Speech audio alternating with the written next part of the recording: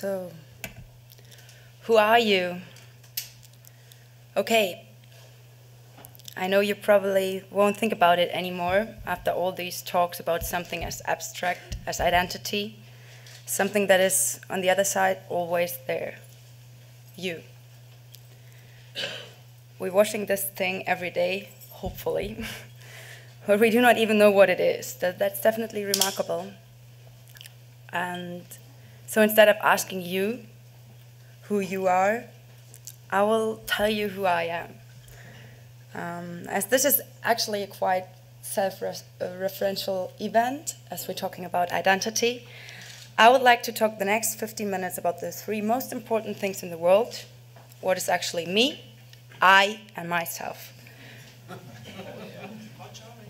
In case you get bored, just ask yourself, who am I? Means, who are you?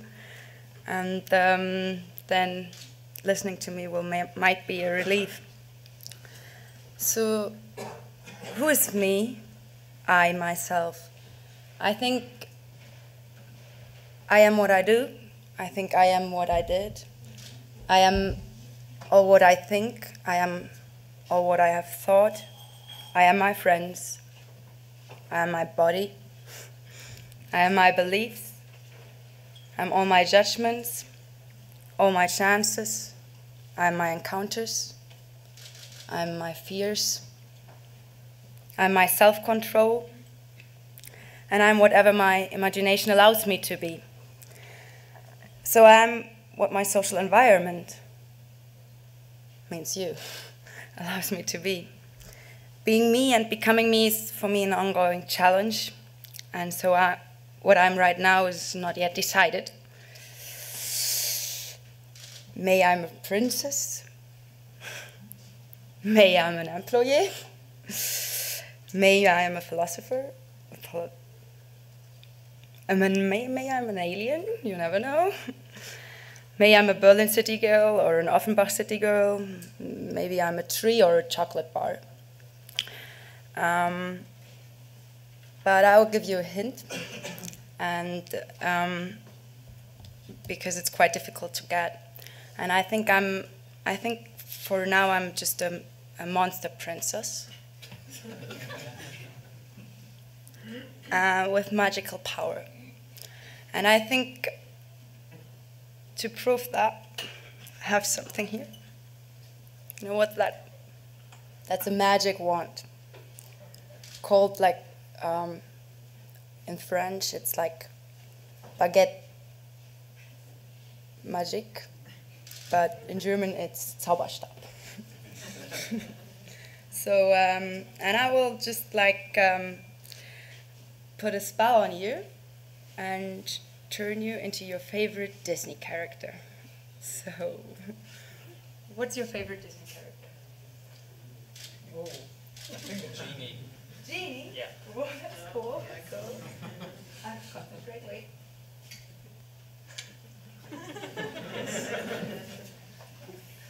How does it feel? Just great. so again, well, looks like a nice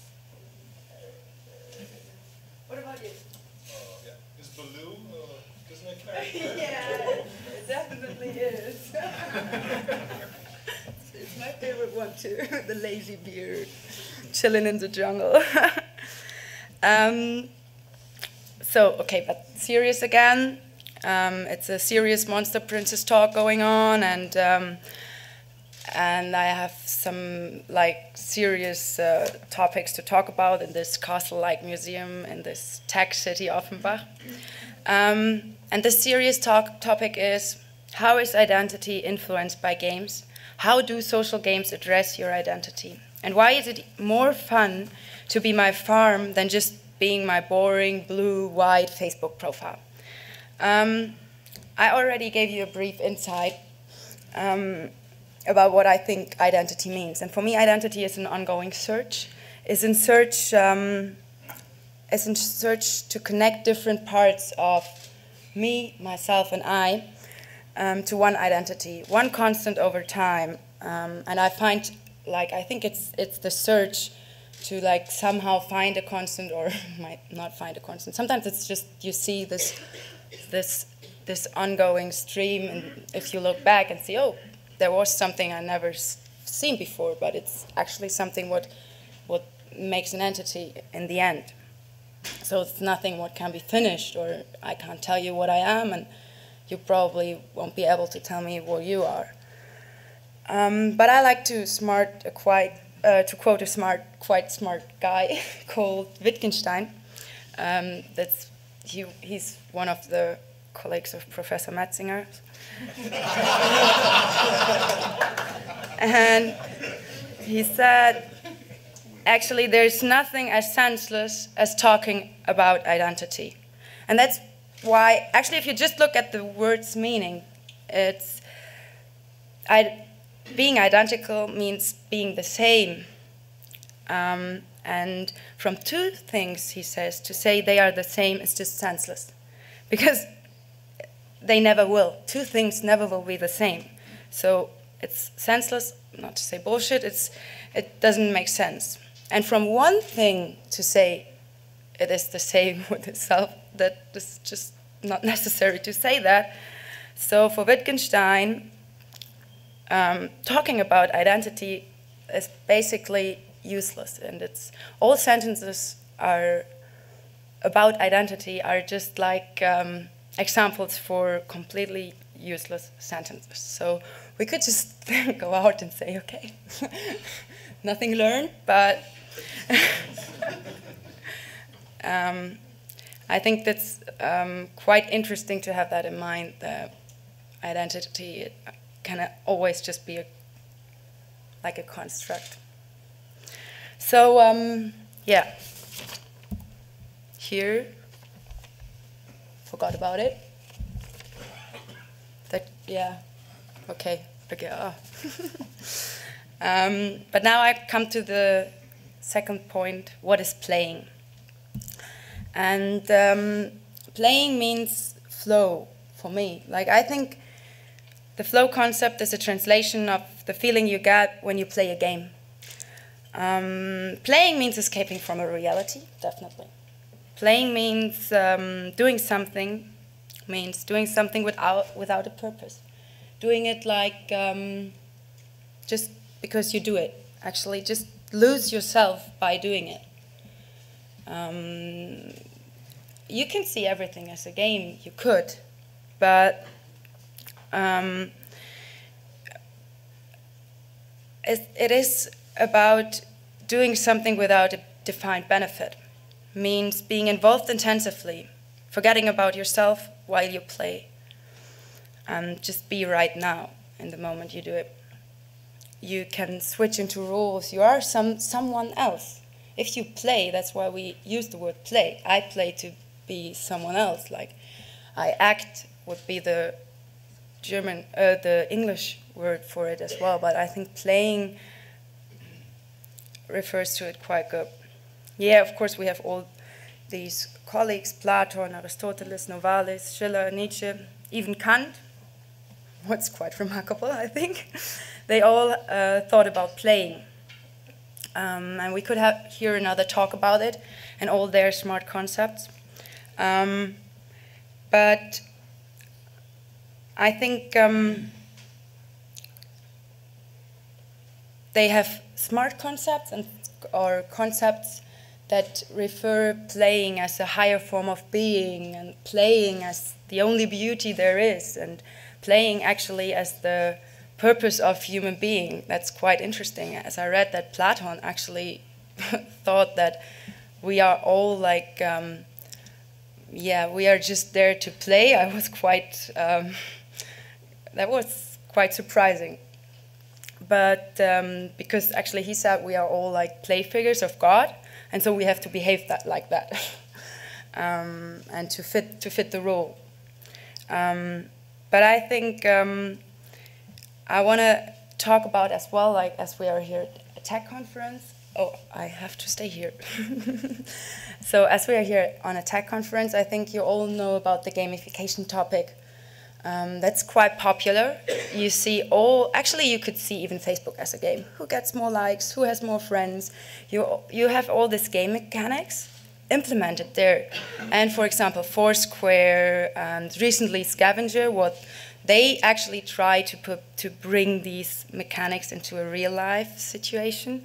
But all these new services implement game elements and game mechanics to, um, yeah, to intensively um, involve us into their servers.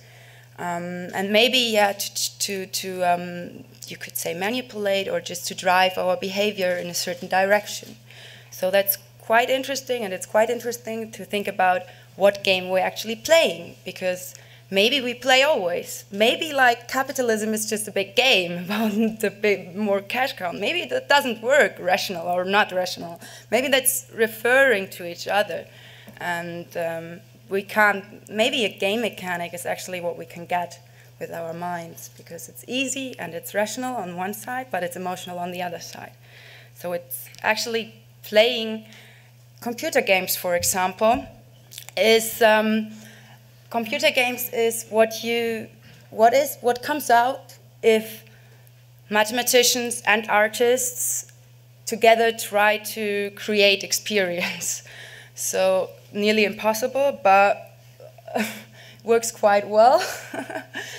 um, yeah, here we see here we see um, the evolution of actually um, games, computer games. These are only computer games. I'm not referring to Heat and Psych, but uh, Heat and Psych, but this is the evolution you see, and um, that's why I make a long story story short. I will stop talking about playing as a whole, I will come to social games.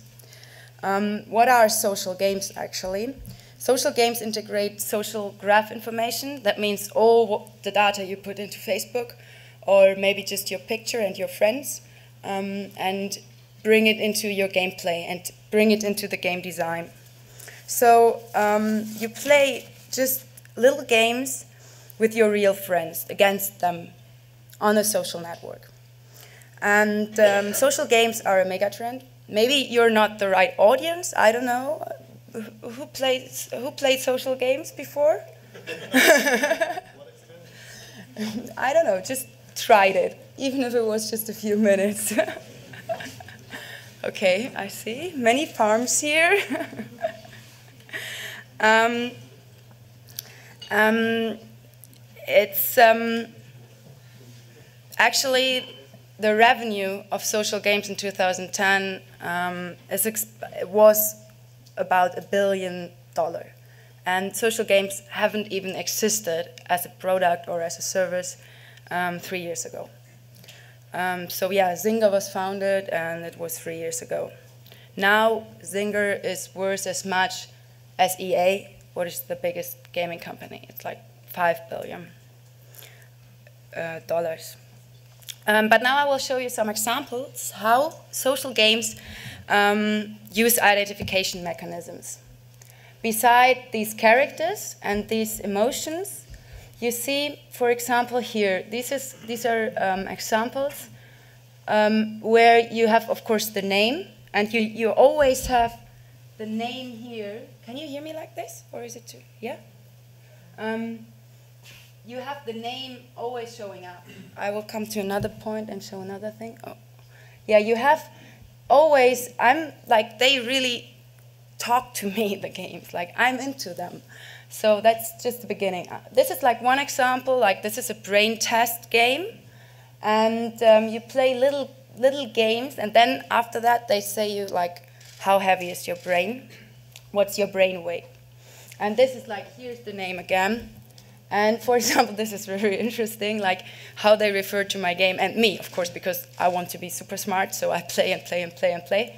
And then it tells me, okay, your your brain weight is that, and if you score 121 uh, um, gram more, then you beat your friends, and you are actually smarter than 13 of your friends. Yeah, this is another example. And then you challenge your real friends, yeah then I didn't got to like beat her, and then I can send her messages like, oh, uh, you're a cheater, I will get you next time, and stuff like that.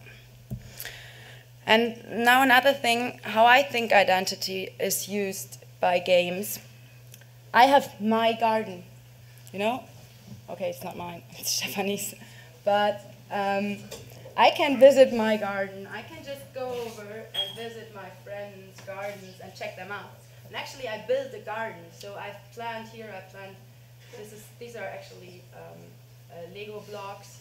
Um, and I, I built like, grow legal trees. And um, that's how I, I can myself um, design this garden or create this garden. And they really look different. But we come to that later. This is like Jan's garden. This is like, okay, I could put a, like a football, uh, a football field in it or uh, stuff like that. And they really address me, the games. This is the newest game. You may uh, you might heard about it. This is um, Cityville uh, by Zynga, and they call they just make build the city of your dreams. And then the city looks like this, for example. This is actually I think that's my city. Yeah, it is. Um, and cities can look quite differently. People can have skyscrapers and stuff like that. So I somehow put ideas of myself into this city. This is another city. And they call even my, this is an interesting thing. Um, my toy store there is called Sina's Toy Store. So they use the data, they use my name um, to, to to, to, to refer to me and to make to involve me into the game. I actually become this product as well while I play it. And then I can accept the help of my friends and actually the, he, he, with his pictures running around in my city and bringing tourists to it. So that I think that's interesting. Um, and I think each product, each marketing expert tries to build up an identification with the product.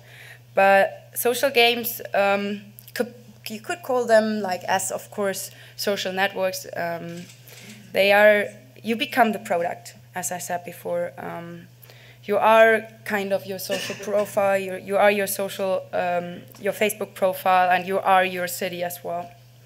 You may become your like your garden or your city. Um, but now I like to connect these um, two things, this aspect identity and the aspect gaming um, in a digital world to summarize my point.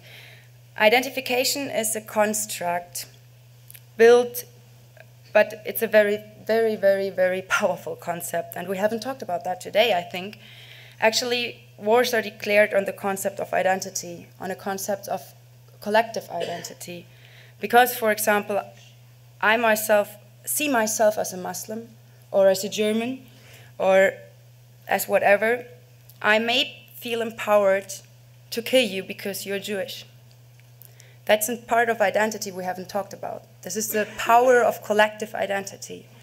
And I might will not kill you because you're on Facebook. So that's what we all hope, that we become bigger and building up bigger collective identities, what actually help us to, to become like one, spe one species and not like like see someone as an enemy just because we think he is something else. Um, so um, I think this is a really powerful concept, this concept of, of identity. And um, on the other hand, we also know that even if we, we know that identity is a construction, and we heard that before, it's not real. Um, I have my hand and I don't know which one is mine. Um, and even if we try to overcome concept, overcome the idea about what we are, it's really hard. It's really hard not to like um, judge someone or just to, to, to orientate yourself. You always use uh, what you think or believe you are um, when you interact with others. Um, and we use everything what we can get um, to, for identification. We use grades, we use our mirror images, we use payrolls, we use these words below our name on our business cards, this numerics dis displayed on, by our scale in the morning. And this new thing, Facebook. Facebook, I think, actually brings together all the available data, or at least it tries to bring together all the available data um, about ourselves at one place. We could say that's awesome, and I think it is awesome. Instead of checking the mirror in the morning, I just check my profile pic. It's better. On the other side, it's horrible. I never felt so visible, never so one person, never so regular, never so reduced. And I was never so stressed, never so stressed by my friend's spelling mistakes on my wall, what is actually my new digital skin, um, what is like my digital clothes, if we refer to our Facebook profile as our identity. And some, yeah, it feels like that sometimes.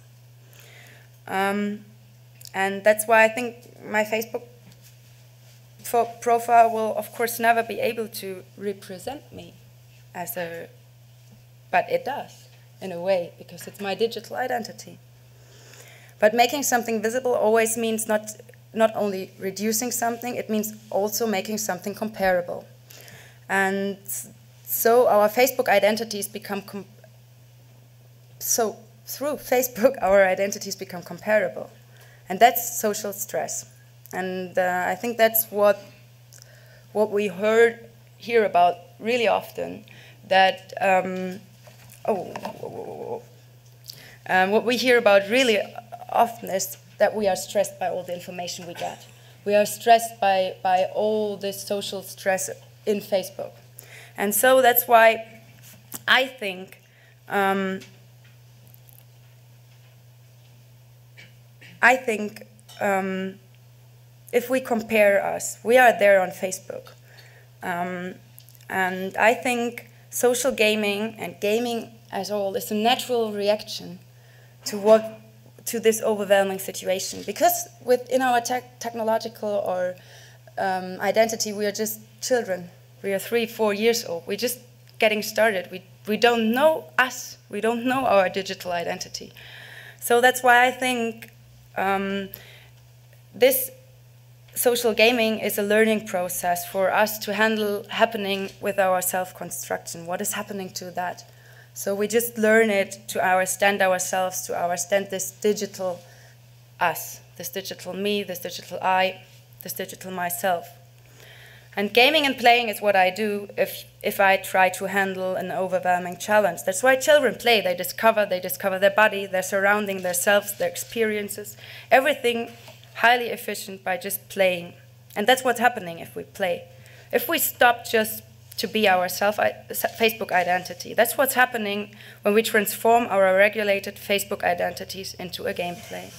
And I think it's a learning process. And I'm very curious what kind of games we will design and what games we will play with each other.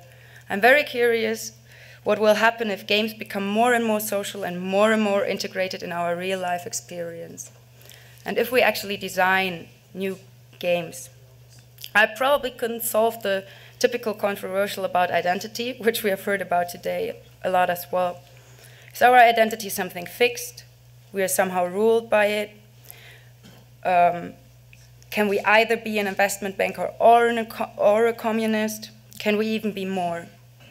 Um, I think the old concept of identity may be something what is, is maybe something what is existing and will be overcome at one point? Was identity this special type of self awareness as a fixed identity, not as a moving one? Because I think it's moving more and more, and that's what the techno technological change will bring. Um, is it maybe, was it just a step of evolution in, in humankind? Um, I have the hope that games may help us to get rid of these fixed identifications and make it easier for us to like become someone else and just to play different worlds whenever like take it easy and play something. And yes yes yes i hope that it leads to a more playful world and a more peaceful world. And i thank you very much for your attention and your time